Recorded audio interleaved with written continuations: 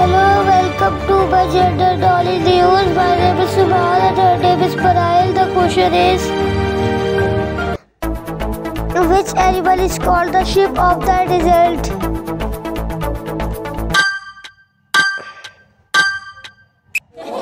Answer is D. Camel. Thanks for watching my videos. Don't forget to like and subscribe. Bye, guys.